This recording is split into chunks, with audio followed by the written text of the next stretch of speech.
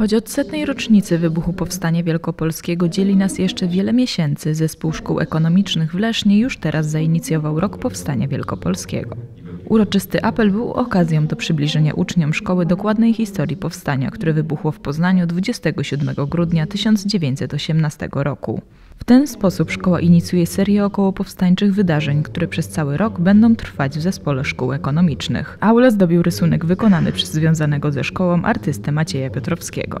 Początkowo miałem zamysł właśnie w formie właśnie tego komiksu, jak tutaj widać na tym obrazie tutaj, ale później stwierdziłem, że to jest za poważna impreza, za poważna sprawa i trafiłem do, do tego momentu, że jako obraz jest po prostu historycznym taką wartością. Maciej Piotrowski realizuje projekt tworzenia miejsc wystawienniczych dla artystów.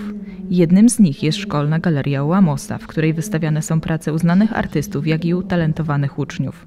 Teraz korytarze szkolne zdobi wystawa Macieja Piotrowskiego pod tytułem Setna rocznica Powstania Wielkopolskiego.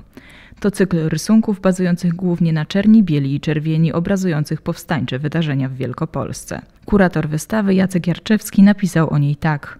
Można uznać pracę pana Macieja za współczesną manifestację patriotyzmu, dumy i radości dzielenia się z innymi pamięcią historyczną.